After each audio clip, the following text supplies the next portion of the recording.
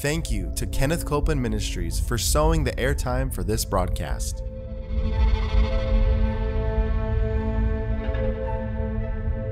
There's enough power in every sick room and in every hospital room to raise up that sick one that may be describing you. Yes, You yes. may be in a sick room. You may be in a hospital room. And I want to remind you power is present. That power is there to do a work. Believe in what's present, not try to get something, but notice that He's already made it yours. It's present right where you're at. Say, I receive that power. I receive that power. I receive it right now. I receive it right From now. From the top of my head the top of my to the soles of my feet. the soles of my feet.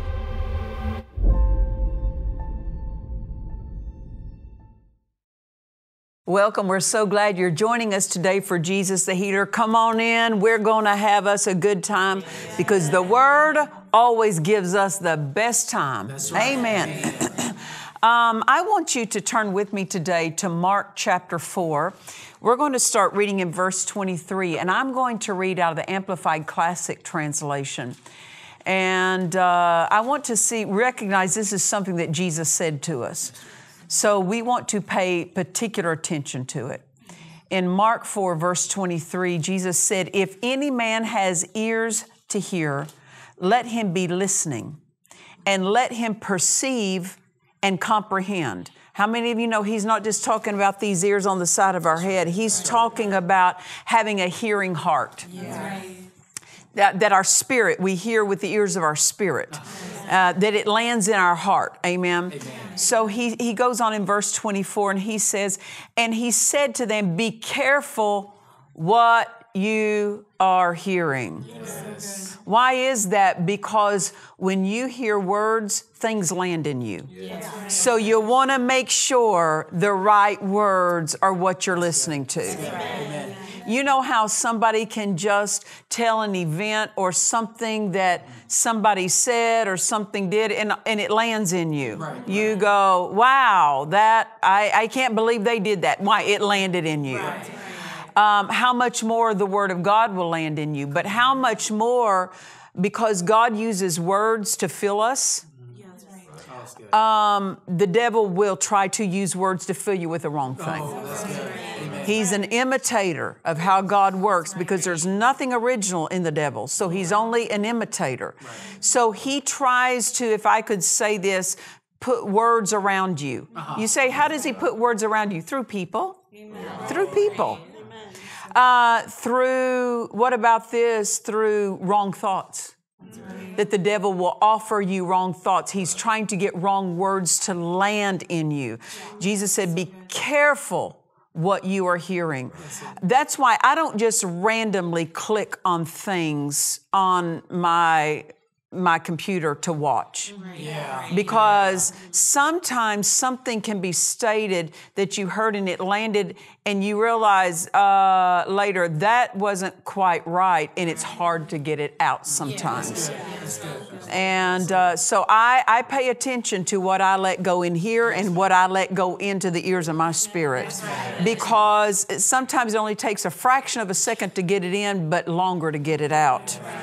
You know that if we if you've been taught something wrong about the word, s- something wrong about some kind of doctrine, and if you hear that over and over all through your childhood, and then you hear truth come along, what happens? That error will argue against that truth and try to keep that truth from coming in uh, because of what you've heard before. And sometimes you've got to, it takes some effort to keep bringing the word to people so they, that they can recognize if there's error that they have heard and held to. So um, Jesus made the statement be careful what you are hearing. So we would say this too be careful who you're listening to. Be careful who you're listening to. You know, um, there are people, precious people that we have around our lives, but you have to know who is it that seems to have God's words in their mouth for you. You give them a place of hearing that you won't just give someone that's a, that's a new acquaintance, someone you just recently met. Uh, you, you'll be cordial to them, you'll be gracious to them, but when you take in someone's conversation and words, it becomes part of the way of what lands in you and how you think and how you speak. So be careful. Mm-hmm. Amen. I, I know where God has, if I say connected me, who God's connected me to so far in ministry, what ministers God has connected me to, that's where I feed. Amen. Where God has connected me. Not just someone who's popular, but someone who I'm connected to by heaven. That's going to be where my best supply is. So Jesus is giving us this same instruction. Be careful what you're hearing. Don't just listen to anything. Amen. Be careful what you are hearing. Then he goes on and says this the measure of thought and study you give to the truth you hear mm. will be the measure of virtue, or the word virtue is also power, will be the measure of power and knowledge that comes back to you. Amen. So he's saying this that when you hear something, it's going to come back. Yes. What you put in is going to come out. Right. Yes. So be careful what you're putting in because it's going to come out. And when you need the right, when you need help and you need answers, pour in the right thing in a great measure because then a great measure of help will come back to you.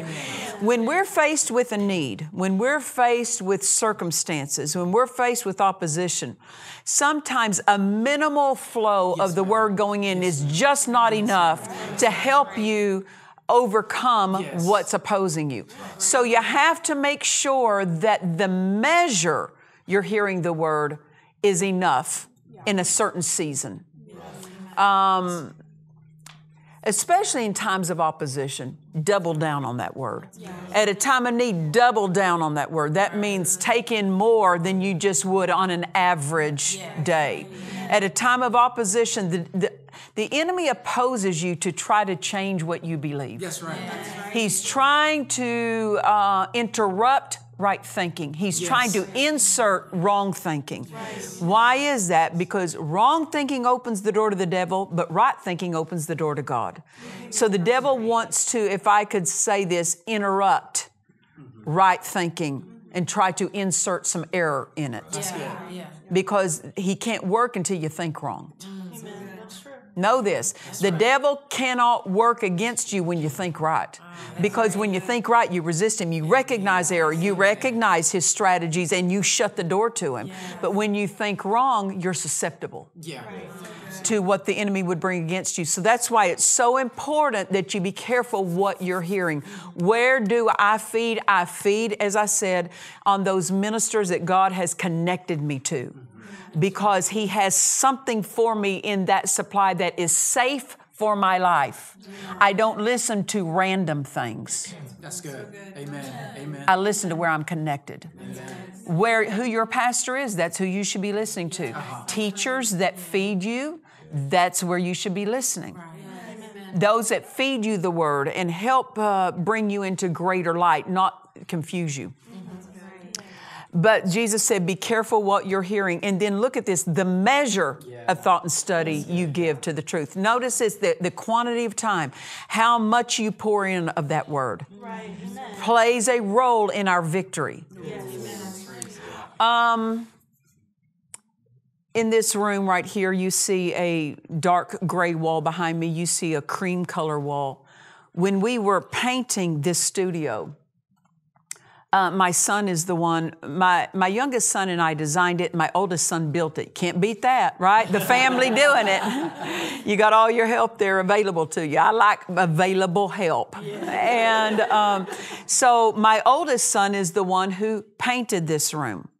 Well, I told him, I said, you know, can you get it done today? Yes, I can get it done today. When he came in, he gave a full, he gave a full measure of time to painting. Why? To get it done quickly. Right. What if he had just come in, taken a roller, and rolled one time on the wall, set it down, and walked out? Well, he painted, but the measure of time he gives to it will determine how quickly it's, it's completed. Mm-hmm. Same thing with the Word. The measure of time you give to the Word will determine how quickly you'll pass through certain situations. If you only just uh, have one little nod toward the Word every day, taking that paint roller, doing one roll and put it down. You'll get the room painted, but it's going to take a long time. And by the time you get around to where you started, everything else may have been faded by then. Light can fade, truth can fade when into in the reality of your spirit when it's only randomly fed. So Jesus is talking not just about being careful what you're hearing, but the measure of what you're hearing. Hearing the word in a great measure is going to give you a great flow of the power of God flowing back into your life. So, what can we do when we are faced with opposition? Make sure we're giving enough measure of time or measure of the word to our victory. That's good. Amen. Amen. Amen. What's that mean? Give an all out effort toward the word. When you give an all out effort toward the word, just like when my son gave an all out effort toward painting this room, it didn't take long to get it painted. When you give an all out effort to the word, it won't take long for you to receive your answer. It won't take long. Don't think that it's got to take a long time. It doesn't. Things take long many times in our lives because of the measure of time we're giving to the word. Sometimes it's too small a measure of time. Sometimes we're not giving an all out attention, being wholehearted toward the word. Amen. Uh, this isn't just what I'm thinking of. This is what Jesus said. Amen. He said, the measure, The measure. the measure of thought. What's he talking about? Meditating on the word. Uh, letting the word, uh, thinking deeply into it, speaking it to yourself, turning it over and over in your thought life. Amen. Listen, your spirit needs the word, but your mind needs the word too.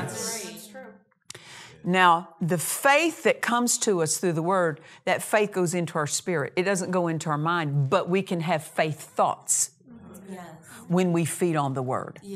Amen.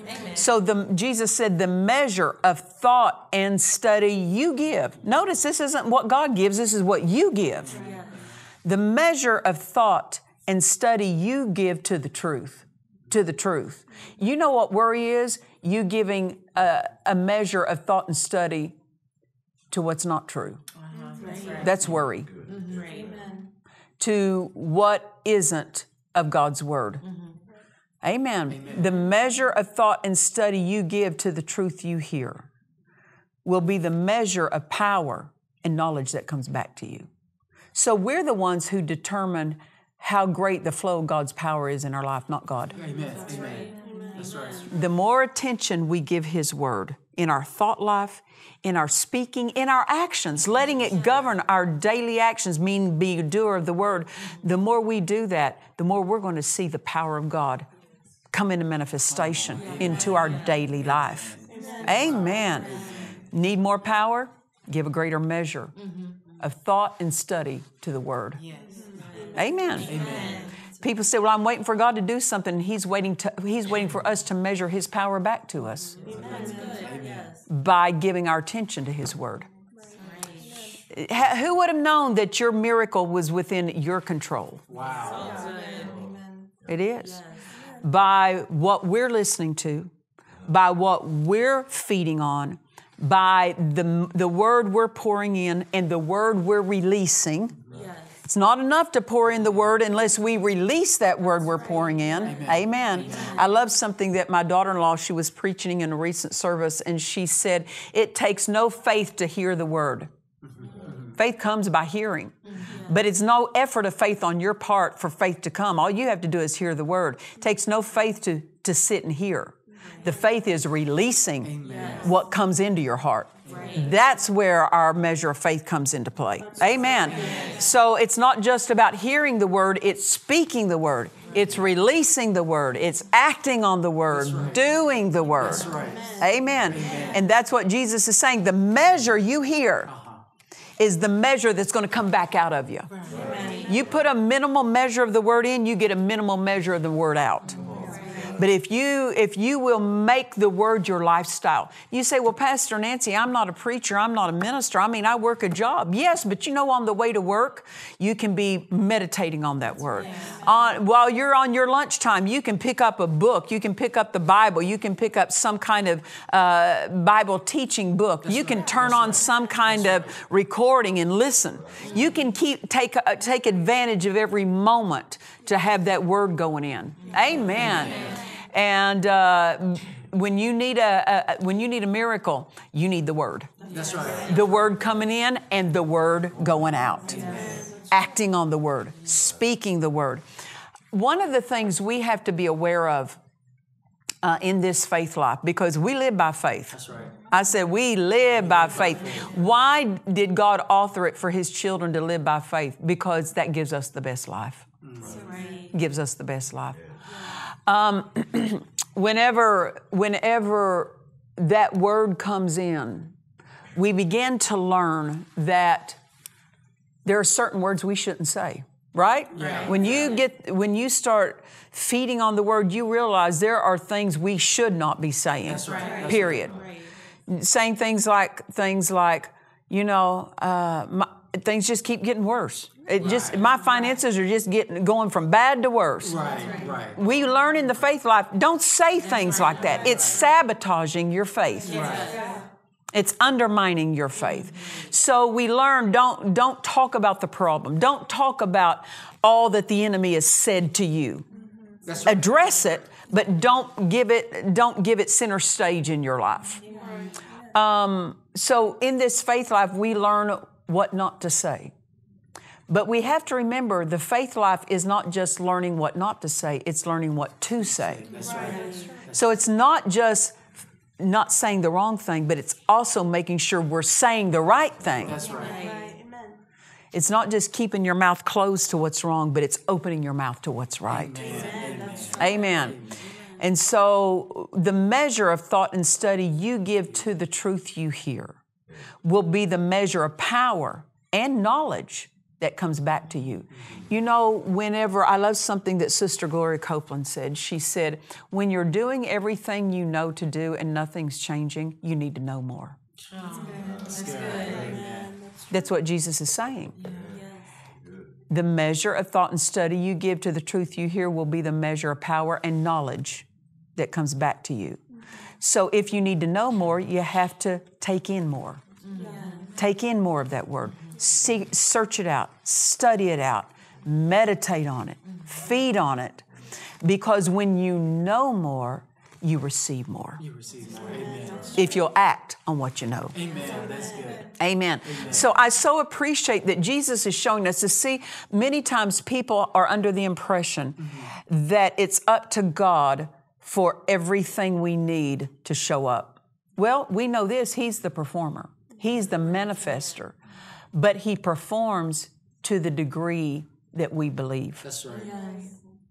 He performs to the degree that we open the door to Him. So basically, this He moves when we move. That's good. When we make a move, then He can move. But people are wanting God to move apart from them doing right. That's anything. right. And that's not scriptural. Yeah, yeah. Many times people want all the responsibility on God, but Jesus is showing us the responsibility is on us. The measure of thought and study we give to the truth we hear will be the measure of power and virtue or power and knowledge that comes back to us. So what, what does this mean? You send the word out, it's a boomerang effect. It comes right back in manifested power. Amen. So it does matter what we're hearing, and it does matter how much of, of, of what we're hearing. That's right. That's right. The measure of what we're hearing. That's true. So he said, um, so the measure of thought and study you give to the truth you hear will be the measure of power and knowledge that comes back to you. And more besides will be given to you who hear. Ah, for to him who has will more be given. What's he mean? To him who has ears to hear. Remember, that's what he's talking about when he started. If any man has ears to hear. So, verse 25 sa- could read it this way For to him who has ears to hear will more be given. More what? More power, more knowledge will be given him. And from him who has nothing. What's that mean? Who doesn't have ears to hear. Even what he has will be taken away by force. Who, who, who, do, who works by force? The devil. God doesn't work by force, God works by permission. Right. The devil's the one that forces his way upon people. God doesn't do that. So if we listen to the word, we get help. If we don't listen to the to the word, then we don't receive the help that we need. Amen. So we are the ones who determine the flow of God's power and God's help into our lives. Don't think it's all on God's side to just just dump help on us. He he's made himself available, but we're the ones that open the door to that. So you say, "Well, how do I open the door to him in a greater way?" The greater place we give the word in our life, the greater the the degree of power that will flow in our life. His power, His word is His power. That's right. When you feed on the word, brother, you're feeding on power. You're wired with power. The Holy Ghost is on the inside of you, but we need to put a demand on that power to conduct that into our need. And by feeding on the word, speaking the word, that power that it, that it, we're wired with begins to flow. The power that is resident in the word begins to flow. Amen. So I could put it to us this way: How we treat the word determines how much we'll receive from God. That's key. How we treat the word will determine how much we receive from God. All things belong to us, but just because it belongs to us doesn't mean we're receiving it. It's up to us to receive what He made ours. And how do we receive what He made ours? How we treat the Word Amen. That's right. How we act on the word, the place we give the word in our everyday life. Amen. It takes faith to receive miracles. So those who treat the word right will have a robust faith. Those who neglect the word will struggle in their faith life. I don't want to struggle. Amen. I, we don't need to struggle in our faith life. So it's all up to how we treat the word. Dad Hagin used to say this to us. He said, It's when you get thrilled with the word that it works for you. When you get thrilled with the word, that it works for you. What's he talking about? How you treat the word is going to determine how it works for you. Do you know being thrilled with the word is a choice? It's not a feeling. It's you choose to get excited Amen. at the opportunity to hear His word and the opportunity to take it in, but also the opportunity to act on His word. It's an honor to know how to act in line with the word. It's an honor. The world is full of people who don't know how to act in the face of a need, but we're taught how to how to act in the face of, of a need, and it's an honor to know that. I'll, I'll tell off on myself. How about that? You, you find out I do that a lot on this broadcast. I tell off on myself uh, because uh, through my experiences, I can help you possibly. And um, even how I did it wrong. I don't mind telling you how I did it wrong because uh, um, at least I'm learning how to do it better, right? How to do it right. But I remember years ago, I would have been, uh, well, it's almost 40 years ago now. And I was a baby Christian, and I had heard enough about healing just to, well, let me just say, I was invited to know more. but I didn't know that much about healing. And uh, I remember that I was having symptoms for a period of time. And uh, I just, I was giving, let me just tell you what I was doing, what it's easy, a half hearted effort toward the word. That's what I was doing. How about that? What was convenient? What was, you know, I could just uh, give a nod toward the word. And I'd said, "Oh, I thank you, Jesus, you're my healer." But it was just that's all. I, that's all the attention I gave to it. You know, just a nod. Yeah. And the symptoms kept persisting. And after weeks of this, I said to God, "No, you understand? Forty years ago, in in days of ignorance." Uh, I said to God, which shows my ignorance. he- Why don't you just go ahead and heal me? Like anybody else, or was that just me? Have you ever thought something like? Please tell me I'm not the only ignorant one. Which shows, you know, basically that word was I, the way I worded it was, you're you're not doing what you ought to be doing. Right. I was putting it on him. Yeah. Putting it on him. Wrong thinking puts the responsibility on God instead of doing it's man has a part to play in their own in their own miracle. What is that? That's obedience to the word. And so anyway, I was I just said basically under my breath. I said, "Why don't you just go ahead and heal me?" In other words, that's like an employee that doesn't come to work, hardly works, and they walk up and payday. Won't you go ahead and pay me? Well, you haven't even done your, your part of the deal to get paid. We don't earn this, but we do have to cooperate with what He's made ours. So that's basically what I was doing with God. Why don't you just go ahead and heal me? and God answered me back. Now, don't turn me off. Listen to me the, the whole story. he answered me back and he said, You're not hurting bad enough. He said, Because if you were hurting bad enough, you'd do what you ought to be doing toward my word. Was God wanting me to hurt? No. He was saying, You're not interested enough. That's what he was saying. And if it's going to take pain to get you interested, that's a bad that's a bad place to to, to choose to go to. Don't wait till you're in so much pain that you, you're forced into being interested. Choose to be interested apart from from circumstances pressing on you. Amen. And so I did what he said. I got interested. Amen. And I began to give an all out effort to the word. That means I made it a priority of my day, listening to the, the word being taught, putting it in my mouth. And I want you to know in a matter of weeks, every symptom was gone. Every symptom. Why? When I gave an all out effort, being interested in the word, the measure I gave is the measure of power that came back to me. Many people are waiting for God to measure things to them, and He's saying, measure it to yourself. It's up to you how interested you are, how hungry you are in my word. So we know this how we treat the word is how the word treats us. If we give out all out effort to the word, we receive an all out flow of His power. We give very little interest toward the word, then we are limiting what God's word can do in our life. Well, praise the Lord. Well, we're just starting on this joyous journey here, and uh, I, maybe I'll tell off on somebody besides me. No, I'm teasing. but you don't want to miss next time because we're learning together. Amen. And so we look forward to seeing you next time. And until then, remember this Jesus is the healer. God bless you. To watch or listen to today's message and other messages by Nancy Dufresne, visit DufresneMinistries.org. God has provided a way for His children to have ongoing visitations from Him, but many Christians don't recognize these visitations. Your life will be changed as you meditate on the revelations in this book, Visitations from God by Nancy Dufresne. Order your copy now at DufresneMinistries.org.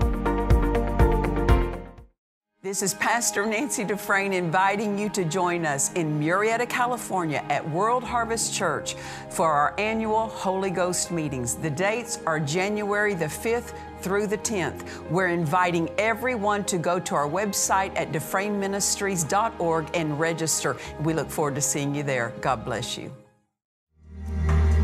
In this classic book by Nancy Dufresne, The Healer Divine, we are presented with a study of the healings of Jesus. Your faith will be stirred to believe and act as the healed God has already made you to be. Order this book now at DufresneMinistries.org. We trust you've enjoyed this message. Visit us at DufresneMinistries.org to learn of our upcoming meetings, share your testimony, submit a prayer request, or visit our online store. Thank you to the friends and partners of Dufresne Ministries for making this production possible.